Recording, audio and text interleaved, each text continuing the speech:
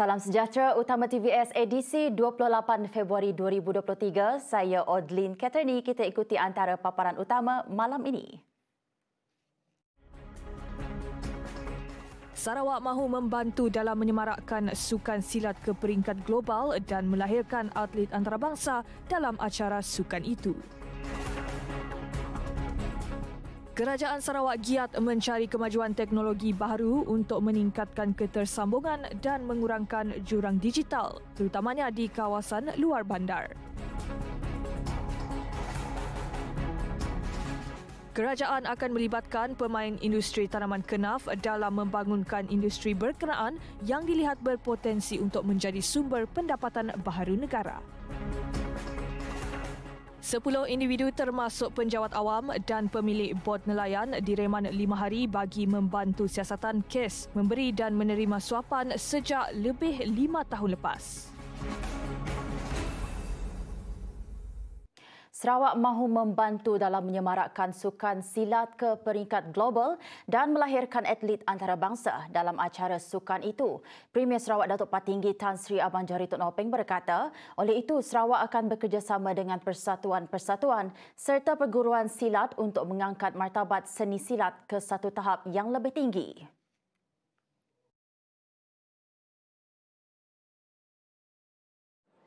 Sport silat adalah bukan saja satu sik sokan di negara Tenggara Asia tetapi ia juga menjadi satu acara di peringkat antara bangsa termasuk Eropah dan juga Amerika Syarikat serta Afrika. It becomes a global sport And I would like to say here that we will promote this sport professionally so that uh, we can include Sokan uh, Silat in the world agenda. Beliau berkata demikian pada majlis perasmian kejuaraan silat Premier Antarabangsa Sarawak 2023 di Stadium Perpaduan Kuching Turut hadir Menteri Belia Sukan dan Pembangunan Usahawan Datuk Seri Abdul Karim Rahman Hamzah, Timbalan Presiden Rumpun Silat Sarawak RSS Datuk Muhammad Yusnar Matali dan Presiden Persekutuan Pencak Silat Kebangsaan Malaysia Pesaka Datuk Megat Zulkarnain Omardin. Katanya lagi sukan silat juga tidak lagi layak digelar sukan orang kampung kerana sukan tersebut terbukti diminati sehingga ke peringkat antarabangsa.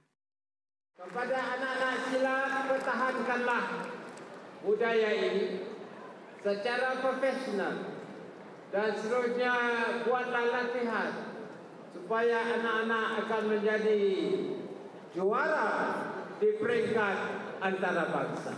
Saya mengambil kesempatan ini sekali lagi untuk mengucapkan syabas dan tahniah kepada para perguruan silat khasnya di Sarawak yang sudah berkorban untuk meneruskan budaya silat di tanah air kita ini. Buat julung kalinya, penganjuran kejuaraan silat Premier Antarabangsa Sarawak menghimpunkan seramai 500 pesilat dari 21 kontingen termasuk dari Amerika Syarikat, Belanda, Filipina, Indonesia dan Kyrgyzstan.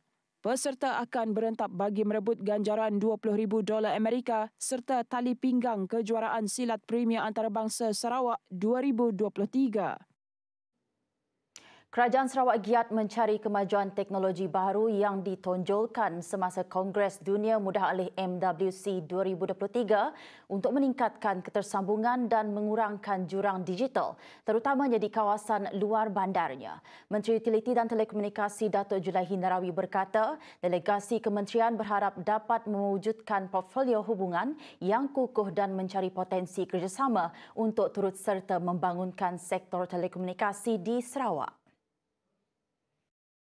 Seramai 25 perwakilan kementerian dan agensi berkaitan yang terlibat secara langsung dalam proses transformasi digital di Sarawak hadir dalam MWC edisi tahun ini.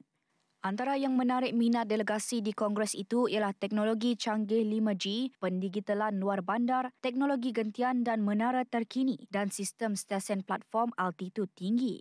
Sementara itu, Julaihi berkata kerajaan Sarawak juga telah bekerjasama rapat dengan pemain industri utama seperti Huawei Technologies untuk manfaat perjalanan transformasi digital Sarawak. Tambahnya syarikat berkaitan kerajaan Sarawak Digital Economy Corporation SDEC telah lama bekerjasama dengan Huawei Technologies dalam memperoleh peralatan telekomunikasi mereka untuk digunakan dalam pembangunan sambungan digital kawasan luar bandar. Bagaimanapun pada masa yang sama Julaihi memberitahu Sarawak juga mempelawa mana-mana pemain industri utama lain yang boleh menawarkan teknologi mereka untuk bekerjasama dengan Sarawak semasa acara berkenaan. Kerajaan akan melibatkan pemain industri tanaman kenaf dalam membangunkan industri berkenaan yang dilihat berpotensi untuk menjadi sumber pendapatan baharu negara.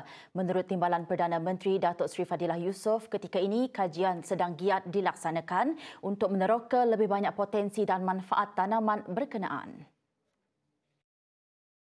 Kita kena mencari kaedah pertama sekali untuk menghasilkan benih, ah, benih yang bermutu, kedua proses uh, penuaian. Uh, ketiga proses untuk mengeluarkan fiber daripada kenaf. Dan seterusnya ialah produk-produk hiliran daripada kenaf.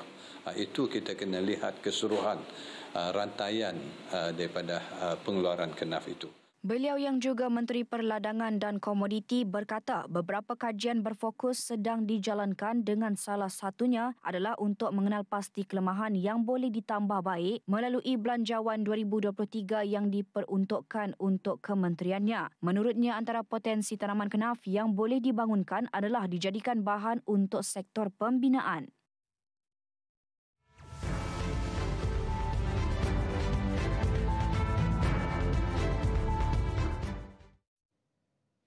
Persidangan Dewan Rakyat antara tumpuan persidangan Parlimen hari ini adalah penubuhan pasukan petugas khas reformasi sektor awam STAR. Untuk laporan penuh sidang Dewan Rakyat, kita bersama rakan setugas Yusof Syukri di Kuala Lumpur. Silakan Yusof. Baik, terima kasih Adlin. Pasukan petugas khas reformasi sektor awam STAR yang ditubuhkan dengan uh, ditubuhkan kerajaan akan merajui in, inisiatif untuk mengurangkan kan isu kesesakan di hospital kerajaan. Uh, oleh itu, Timbalan Perdana Menteri Datuk Seri Fadilah Yusof memaklumkan uh, pasukan khas yang dipengerusikan Ketua Setiausaha Negara Tan Sri Muhammad Zuki Ali itu disertai oleh pelbagai agensi yang akan berbincang tentang langkah penambahbaikan yang akan dilaksanakan.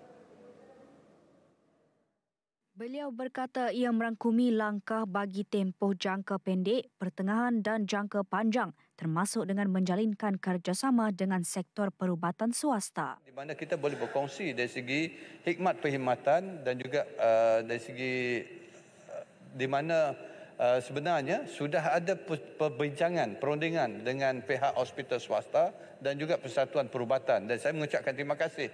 Di mana mereka juga sudah pun bersetuju Uh, untuk berterlibat bersama menjaga kesihatan rakyat kita sejaga secara holistik. Makna kerajaan, swasta dan private practitioners dan kerajaan juga terlibat bersama uh, dalam menjaga kesihatan rakyat kita. Uh, di mana kalau mereka datang hospital kajian tidak tidak dapat untuk memberi uh, disebabkan uh, mungkin queue yang panjang mereka akan diserahkan pada hospital swasta di mana yuran tertentu sudah pun dironding dan dipersetujui dan kalau ini dapat dilaksanakan kemungkinan ianya dapat membantu dalam waktu jangka pendek dan jangka sederhana. Sementara kita membina lebih banyak hospital berdasarkan daerah berdasarkan bahagian ataupun berdasarkan negeri-negeri yang memerlukan kepakaran-kepakaran tertentu Beliau menjawab soalan Oscar Ling Chai Yu PH Sibu yang meminta kerajaan menyatakan langkah-langkah meningkatkan mutu perkhidmatan kesihatan negara berikutan isu kesesakan di hospital kerajaan yang semakin membimbangkan. Menurut Fadila, isu kesesakan di hospital kerajaan masih berlaku adalah kerana sistem perkhidmatan oleh semua pegawai kesihatan seperti doktor dan jururawat di negara ini semakin bertambah baik. Keadaan itu menyebabkan hospital kerajaan tetap menjadi tumpuan berikutan perkhidmatan kesihatan yang ditawarkan berkualiti selain perkhidmatan yang hampir percuma berbanding caj yang dikenakan hospital swasta. Pada masa yang sama, beliau berkata isu kesesakan di hospital juga menggambarkan ramai dalam kalangan rakyat Malaysia tidak mengamalkan gaya hidup yang sihat menyebabkan mereka terpaksa dirujuk di hospital. Sehubungan itu, beliau menggesa semua ahli parlimen supaya turut sama memainkan peranan bekerja bekerjasama dengan Kementerian Kesihatan untuk memupuk budaya hidup sihat dalam kalangan rakyat kerana ia dapat membantu mengurangkan kesesakan serta beban yang ditanggung hospital kerajaan ketika ini. Baik, dalam perkembangan lain, Timbalan Perdana Menteri Datuk Seri Fadilah Yusof menegaskan sebarang perubahan berkaitan dasar atau undang-undang kerajaan sedia ada perlu melalui proses biasa dan mendapatkan input pihak berkepentingan. Katanya keputusan hanya boleh dibuat kerajaan selepas mengambil kira hasil daripada sesi libat urus dengan pihak sekiranya ada penambahbaikan, kajian semula atau pemansuhan. Kita kena mengambil kira banyak perkara dan sudah pasti apa yang dicadangkan itu uh, akan kita uh, bawa melalui proses yang biasa dan mendapat input daripada semua uh, pihak yang berkepentingan adakah ianya perlu direview, direpeal ataupun uh, ditambah baik itu bergantung dengan apa saja finding yang akan dilaksanakan melalui engagement pada pelbagai pihak tersebut. Fadila berkata demikian sebagai menjawab soalan tambahan ahli Parlimen Indra Kota Datuk Sri Saifuddin Abdullah sama ada kerajaan berhasrat memansuhkan Akta Universiti dan College Universiti 1971 AUKU seperti dijanjikan dalam Manifesto Pakatan Harapan. Baru-baru ini media melaporkan Menteri Pengajian Tinggi Datuk Seri Muhammad Khalid Nordin berkata kerajaan tidak berhasrat untuk memansuhkan AUKU memandangkan akta itu masih relevan terutamanya melibatkan urus tadbir universiti. Tambah beliau, kerajaan perpaduan memandang serius agenda reformasi institusi ini dan akan mengambil tindakan yang tuntas bagi merealisasikan agenda berkenaan. Antaranya mewujudkan semula perkhidmatan parlimen bagi merealisasikan hasrat pengasingan kuasa antara badan legislatif dan badan eksekutif serta meneliti untuk meminda Majlis Parlimen Keistimewaan dan Kuasa 1952 Akta 347. Selain itu, penambahbaikan dan pindaan kepada Akta Perlindungan Pemberi Maklumat 2010 Akta 711 juga sedang dilaksanakan bagi memperkasakan akta tersebut dan merealisasikan visi Pelan Anti Rasuah Nasional 2019 hingga 2023. Baik, seterusnya program khusus pendidikan dan latihan teknikal dan vocational atau TVET bagi penduduk luar bandar telah dilaksanakan untuk menggalakkan penyertaan mereka. Mengambil contoh program yang dianjurkan bersama Persatuan Orang Asli Perak, Timbalan Perdana Menteri Datuk Seri Fadilah Yusof ah, berkata program tersebut ah, berjaya memberikan kesedaran kepada penduduk luar bandar untuk memperkasakan bakat mereka melalui program-program TVET dan kita perlu memberi kesedaran yang lebih kepada penduduk luar bandar uh, dan juga orang asli untuk terlibat bersama dan perlu melibatkan ibu bapa uh, supaya mereka akan dapat bertahan kekal uh, dalam latihan TVET ini dan mereka akan diberi latihan. Dan dengan itu juga kementerian sedang mempertimbangkan mungkin salah satu kekangannya ialah dari segi urusan bayaran yuran sebanyak uh, permulaannya 800 dan mungkin ini kalau dapat kita pertimbangkan dibantu mereka mungkin lebih ramailah belia-belia khususnya orang asli akan dapat terlibat bersama dengan latihan uh, latihan TVET ini. Beliau menjawab soalan yang Syefura Otman PH Bentong yang bertanyakan mengenai data pendaftaran TVET di Malaysia di mana hanya 5% belia Malaysia terlibat dalam bidang TVET. Fadila berkata peratusan tersebut hanya mengambil kira penglibatan belia yang berumur antara 15 hingga 24 tahun di mana populasi belia negara dalam lingkungan umur yang sama berjumlah seramai 6 juta orang berdasarkan statistik daripada Jabatan Perangkaan Negara DOSM. Dan dalam usaha pemulihan orang kelainan upaya atau OKU, uh, Jabatan Kebajikan Malaysia JKM sentiasa memastikan fasiliti di institusi pemulihan dalam komuniti ataupun PDK sentiasa dalam keadaan yang baik untuk keselesaan pelatih. Menteri Pembangunan Wanita, Keluarga dan Masyarakat Datuk Sri Nancy Shukri berkata lawatan secara fizikal ke PDK diadakan sekurang-kurangnya dua kali setahun. Antara contoh pemantauan yang dilaksanakan adalah seperti lawatan secara fizikal ke tempat PDK sekurang-kurangnya dua kali setahun. Membuat audit secara rambang serta lawatan naziran ke atas PDK terpilih. JKM juga ada melakukan semakan silang dengan ROS bagi memastikan status NGO yang merujuk kepada pematuhan syarat ROS. Nancy memberi maklum balas kepada soalan Datuk Muhammad Syahar Abdullah Barisan Nasional Paya Besar semasa penggal kedua Parlimen ke-15 di sini hari ini.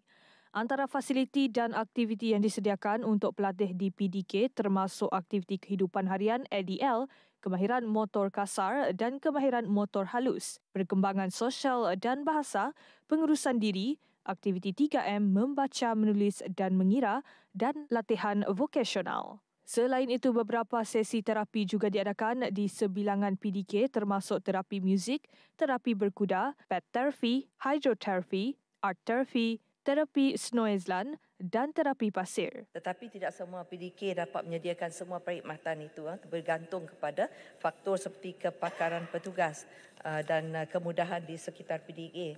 PDK yang tidak mempunyai ketidakkeupayaan pelatih di PDK. Baiklah, setakat itu saja laporan daripada Parlimen bersama saya Muhammad Yusof dan juru kamera uh, Zulkifli. Uh, besok Parlimen akan uh, bersambung untuk persidangan pada pukul 10 pagi. Saya Muhammad Yusof sekali lagi bersama Zulkifli untuk Parlimen di Kuala Lumpur. Kembali ke studio bersama Odlin Katani. Silakan.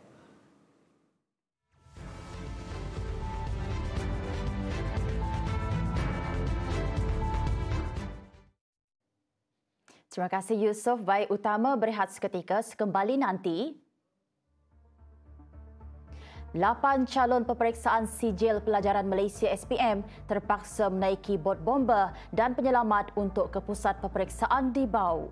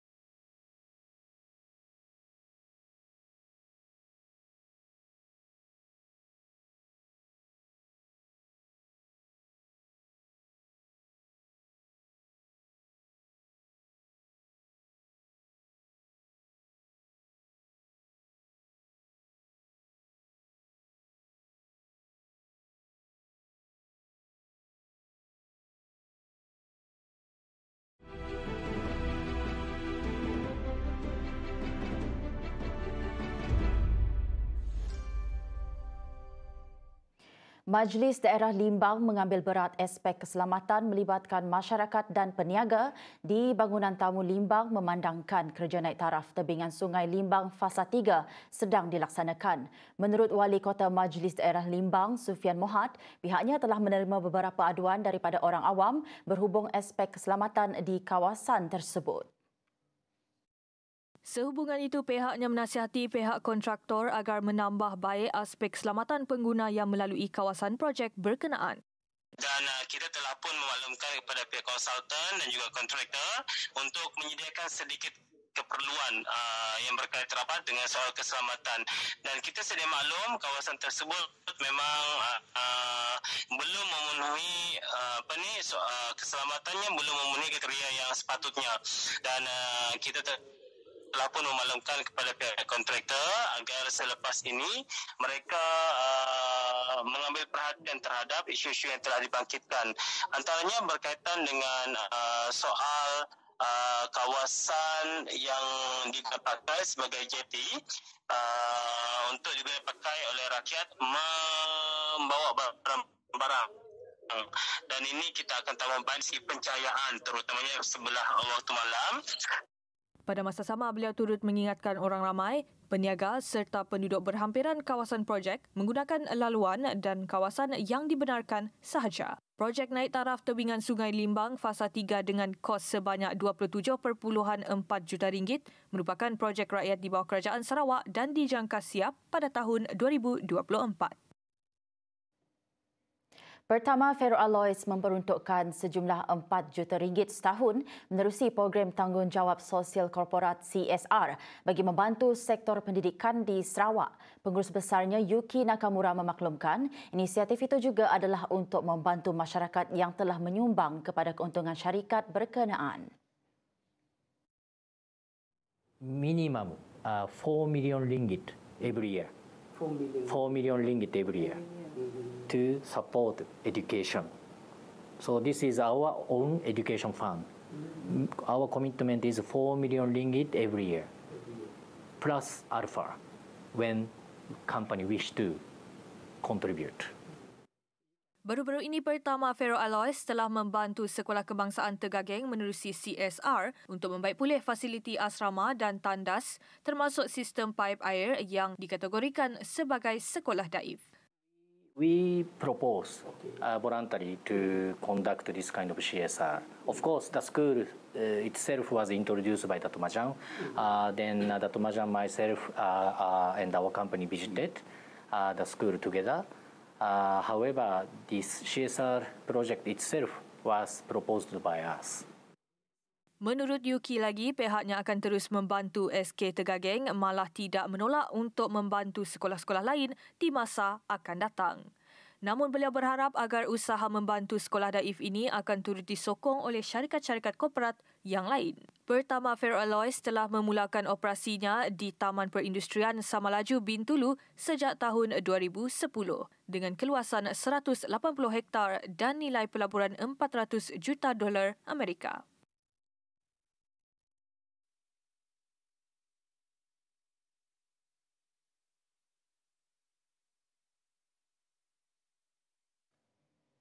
Jabatan Pengairan dan Saliran JPS mengeluarkan notis kesiapsiagaan kemungkinan banjir kilat dalam tempoh 12 jam di beberapa daerah di Sarawak. Sekiranya hujan lebat atau ribut petir yang signifikan terus berlaku, notis kesiapsiagaan itu dikeluarkan bagi membolehkan semua penduduk untuk berwaspada dengan sebarang kemungkinan berlakunya banjir kilat bagi tempoh tersebut. Rakan setugas Burhanuddin Kamil ada perinciannya. Baik, terima kasih rakan tugas di studio. Sekarang ini saya berada di perkarangan Masjid uh, Nur Hidayah Batu Kitang Jaya dan rata-rata penduduk di sini telah pun ditempatkan di pusat pemindahan sementara PPS ini uh, akibat banjir kilat yang berlaku di kawasan ini. Ini kerana berdasarkan notis yang dikeluarkan Jabatan Pengairan uh, dan Saliran JPS, banjir diramal berlaku dan di di bahagian Kuching dan yang melibatkan Jalan Laksamana Cheng Ho, Taman Bong Chin, Sekolah Kebangsaan Batu, Batu Lintang, Lorong Kapur 10, uh, Ulu Maung, Happy Valley, Taman Evergreen, Simpang menuju Capital Garden, Jalan Burong Durian, uh, Jalan Batu Kawa, Desa Wira, Kampung Gita, Hospital Umum Sarawak, Jalan Batu Lintang, kawasan perumahan RBR Batu Kawa serta kawasan sekitarnya. Uh, dan sebentar tadi saya juga berkesempatan untuk mendapatkan reaksi daripada Timbalan Premier Sarawak, Dato' Amar Douglas Ugah Embas. Uh, dengan itu, kita saksikan rakaman awal yang telah kami sediakan. Saya berpuas hati dengan uh, bantuan-bantuan yang disediakan Jabatan Kebajikan dan semua agensi-agensi APMM dan sebagainya sama-sama dengan uh, UKPN membantu polis. Uh, kita dah sama-sama bekerjasama dan begitu juga yang Muhammad Law dengan tim dia sama juga membantu uh, membagi makanan. Ini adalah satu semangat yang Uh, tersedia di Sarawak di mana jatuh kuasa uh, di peringkat bahagian dan peringkat daerah sekarang ini juga sama tuan residen sama-sama uh, mempunyai cukup pengalaman untuk menghadapi keadaan yang seperti ini. Baik, berikut merupakan reaksi uh, daripada Timbalan Premier Sarawak, Dato' Amar Douglas Uga Embas uh, mengenai situasi banjir yang berlaku sekarang ini. Saya kira itu sahaja yang dapat saya kongsikan dari PPS uh, Masjid Nur Hidayah ini. Perkembangan lanjut akan saya bawakan dari semasa ke semasa. Saya Burhanuddin Kamil dan juru kamera Aziz Soleh melaporkan untuk TBS Kuching. Kita kembali semula ke studio. Baik, terima kasih Burhan.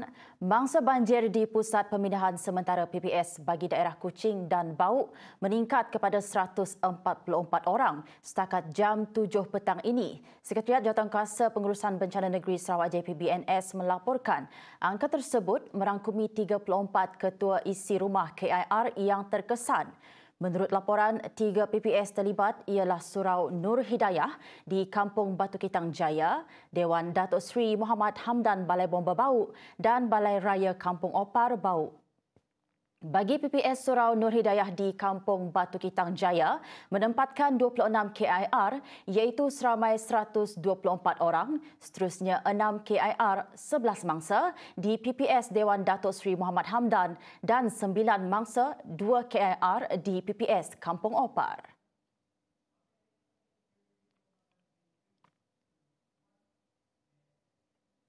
Baik, seterusnya, agensi-agensi penyelamat di Sarawak termasuk Jabatan Bomba dan Penyelamat Malaysia JBPM bersiap sedia menghadapi sebarang kemungkinan bencana susulan hujan lebat berpanjangan. Pengarah JBPM Sarawak Datuk Kirudin Rahman berkata, pihak bomba juga akan melakukan rondaan dan pemantauan pada sebelah malam di kawasan-kawasan yang dijangka dinaiki air. Kita dah mula gerakkan aset-aset kita dari segi pemantauan bagi kawasan-kawasan yang dijangka akan dilanda banjir kilat dan juga uh, keadaan hujan lebat adalah uh, apa yang penting adalah tindakan masyarakat sendiri. Sebab dalam tindakan ini kita nak ingatkan pada supaya tambah kali isu uh, sebelum, semasa dan selepas. Kesiapsiagaan kita lah. Uh, kita tahu kawasan-kawasan kita, kita uh, amat peka berkaitan keadaan kawasan rumah kita lah persekeliling kita yang mana sekiranya berlaku banjir kilat boleh menjadi uh, uh, perangkap kepada kita penghuni lah. Beliau turut menasihatkan masyarakat untuk kekal waspada kemungkinan berlakunya banjir dan bersedia sekiranya terdapat keperluan untuk pindah ke pusat pemindahan sementara PPS. Dan juga uh, tambah kali dari segi kesiapsiagaan kita lah uh, menyediakan peralatan asas untuk kita uh, untuk lebih uh, bukannya selalu selesa tetapi uh, bila dipindahkan tempat pusat pemindahan sementara ataupun rumah saudara kita dah siap sedia dengan alatan asas supaya tidak mengganggu perjalanan uh, perpindahan ini. Sebelum ini, Jabatan Pengairan dan Saliran JPS mengeluarkan notis kesiapsiagaan kemungkinan banjir kilat dalam tempoh 12 jam di beberapa daerah di Sarawak sekiranya hujan lebat atau ribut petir yang signifikan terus berlaku. Lapan calon peperiksaan sijil pelajaran Malaysia SPM terpaksa menaiki bot bomba dan penyelamat untuk ke pusat peperiksaan di Bau pada Selasa. Ketua Balai Bomba dan Penyelamat Bau Tawang Lingga memaklumkan pihaknya menggunakan sebuah bot dan sebuah lori bagi membawa lima pelajar ke Sekolah Menengah Kebangsaan Lake. Okey, yang pakai bot hanya lima orang. Jumlah yang 16 tersebut adalah jumlah awal untuk ke semua mereka dari kampung Belainan. Yang lima orang adalah satu dari kampung saja. Ah, yang guna bot hanya lima orang. Yang lima orang adalah untuk yang siri pertama pengambilan dan yang kedua adalah tiga orang bagi siri kedua masa mengambil mereka. Dan yang tiga orang tersebut dihantar ke SMK Paku. Yang lima orang SMK Lake. Hujan sejak Sabtu lepas menyebabkan beberapa kawasan di Kuching dan Bau dinaiki air. Ia menyaksikan dua pusat pemindahan sementara dibuka di daerah Bau.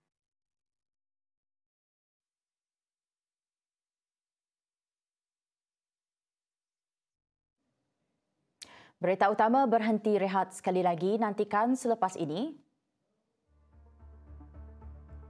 Diskaun bayaran balik PTPTN dan penangguhan bayaran balik bagi peminjam berpendapatan bulanan RM1,800 ke bawah dilihat satu usaha yang baik dalam meringankan beban golongan B40.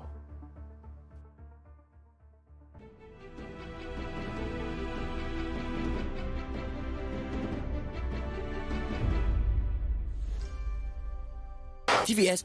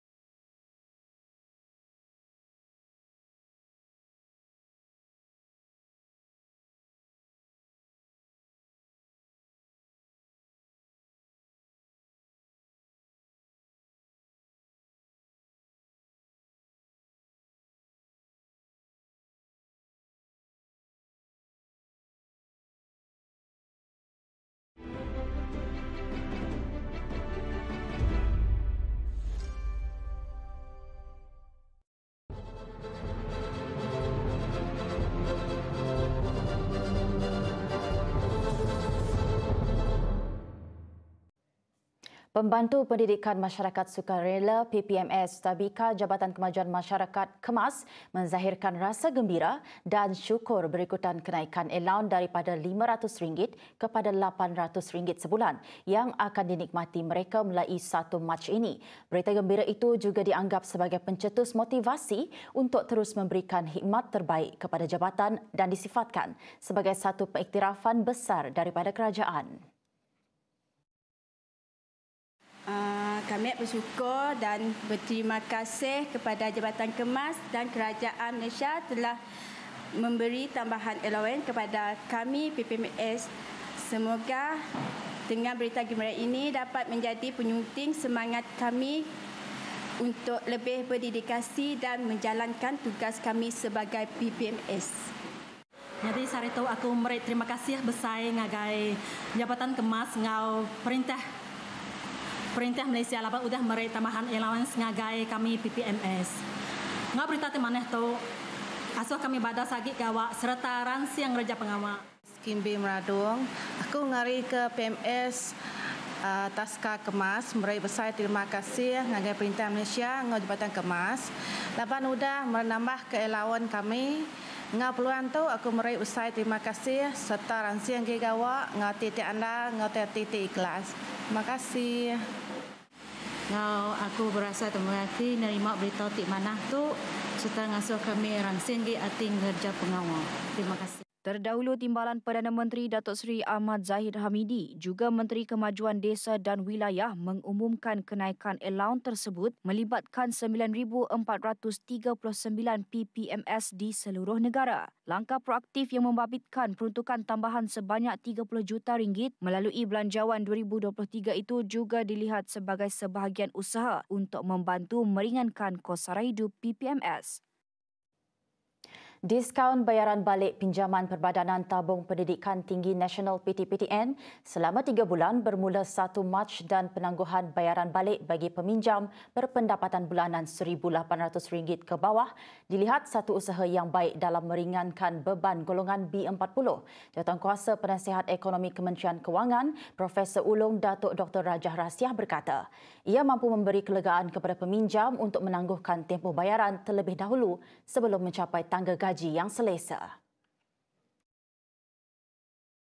Menangkis tanggapan sesetengah pihak berkenaan penangguhan bayaran PTPTN, beliau berkata ia tidak sepatutnya berlaku kerana menjadi kewajipan peminjam untuk membayar balik jumlah hutang yang diluluskan. Isu tentang marah itu kalau timbul, bagi saya itu satu uh, uh, uh, teladan yang tak tak baik dengan mereka terutamanya bila dia dah jadi dewasa. Kedua, bagi saya usaha untuk mengurangkan bebannya dengan membayar bagi saya bagus. Tapi dalam jangka masa panjang tu, apakah itu satu yang perlu diteruskan? Saya kira elok penginsafan itu penting. Dalam pada itu mengulas mengenai tindakan kerajaan menambah caruman RM500 bagi ahli kumpulan wang simpanan pekerja KWSP berumur 40 hingga 54 tahun yang mempunyai simpanan kurang RM10,000 dalam akaun satu. Ketua Pegawai Eksekutif Emir Research Datuk Dr. Rais Hussein berkata kerajaan boleh menambah baik kebajikan ahli KWSP di masa hadapan dengan tidak mengeluarkan wang caruman tersebut. Antara solusi yang diberikan ialah kerajaan boleh meneliti semula pelaksanaan projek-projek di Malaysia yang dirasakan kurang penting pada ketika ini dan mengalihkan peruntukan tersebut kepada pelan rangka panjang untuk menyelesaikan masalah beban hidup rakyat. Saya rasa mungkin kita perlu mengambil solusi yang lain. Solusi macam mana? KWSPD patut kita kekalkan tetapi kerajaan perlu memberi bantuan secara khusus dan bersasar kepada yang mempunyai masalah begini. Jadi kita kena prioritize. Kita utamakan yang perlu dan kita belakangan yang tidak perlu. Pada Jumaat, Perdana Menteri Datuk Seri Anwar Ibrahim menegaskan bahawa kerajaan sememangnya beriltizam untuk membantu rakyat membina semula simpanan pasaran pencarum bagi memastikan mereka mempunyai jumlah mencukupi untuk membiayai tempoh persaraan. Miasat Satelit Systems yang Berhad sedia komited bekerjasama dengan kerajaan dalam meningkatkan peluasan perkhidmatan jalur lebar satelit di kawasan yang kurang ketersambungan capaian internet. Ketua Pegawai Operasinya Yao Chong Lim berkata, lebih ramai rakyat Malaysia perlu mendapat faedah penggunaan internet khususnya dari aspek sosioekonomi. Tegasnya yang penting kini adalah untuk mempercepatkan pembangunan infrastruktur digital negara agar dapat mengembangkan faedah teknologi dan mengukuhkan potensi ekonomi digital. Cheong Lim menambah capaian jalur lebar satelit yang lebih luas akan membuka potensi ekonomi digital di kawasan luar bandar yang kurang mendapat capaian internet. Beliau turut mengakui cabaran yang dihadapi dalam memastikan ketersambungan internet kepada 3% penduduk di Malaysia yang tinggal jauh di pedalaman. Kerajaan Madani di bawah pimpinan Perdana Menteri Datuk Seri Anwar Ibrahim pada pembentangan belanjawan 2023 baru-baru ini telah mengumumkan peruntukan berjumlah 725 juta ringgit bagi melaksanakan ketersambungan digital di 47 kawasan perindustrian. Beliau yang juga Menteri Kewangan berkata kerajaan akan mempercepatkan pelaksanaan projek pelan jalinan digital negara jendela bagi menyediakan jaringan internet di seluruh negara.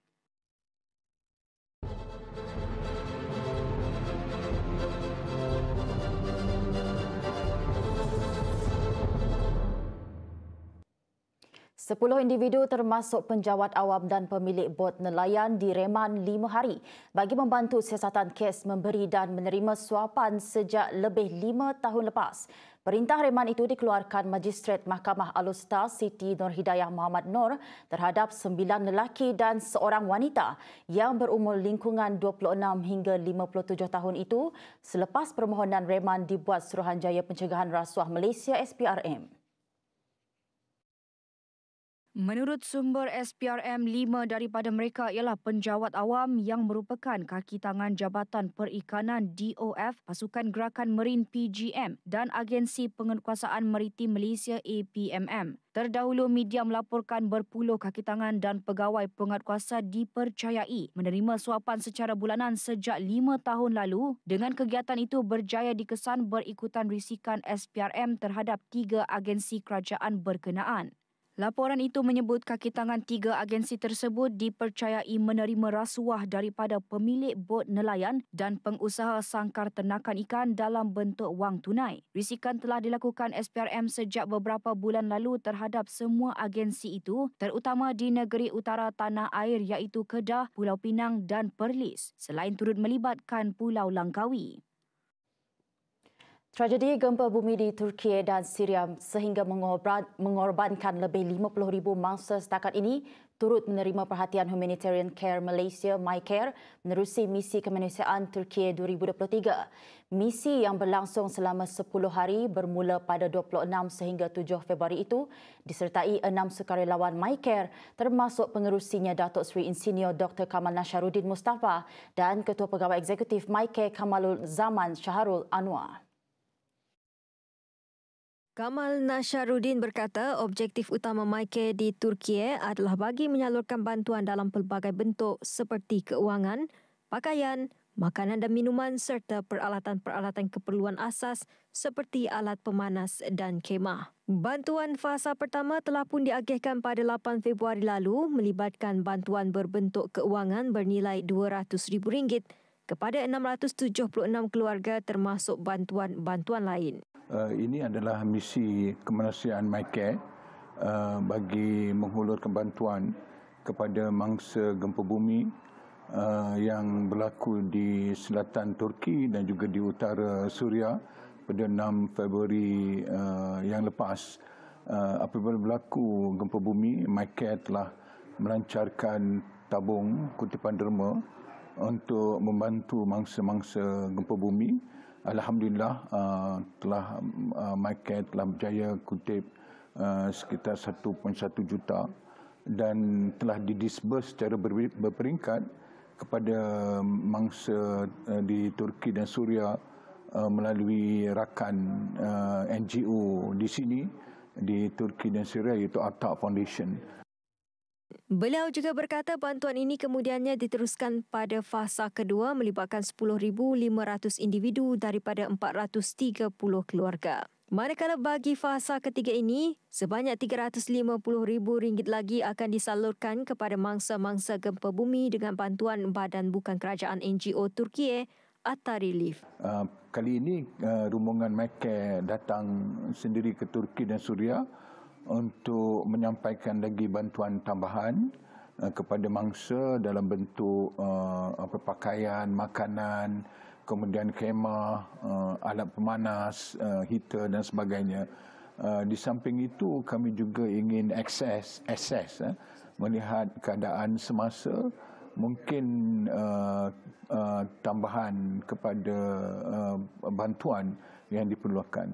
Pada 6 Februari lalu, gempa bumi 7.4 magnitude telah melanda kahraman Maras, Turki disusuli beberapa siri gegaran susulan berukuran 6.4 magnitude di wilayah sempadan Turki Syria pada 20 Februari serta gempa bumi bermagnitude 5.8 beberapa minit kemudian yang berpusat tidak jauh dari gegaran pertama di wilayah Hatay Turki. Setakat ini lebih dari 50,000 kematian telah dilaporkan di Turki dan Syria dan Pertubuhan Bangsa-Bangsa Bersatu PBB menganggarkan sebanyak 1 bilion dolar Amerika diperlukan bagi membantu mangsa-mangsa yang terkesan.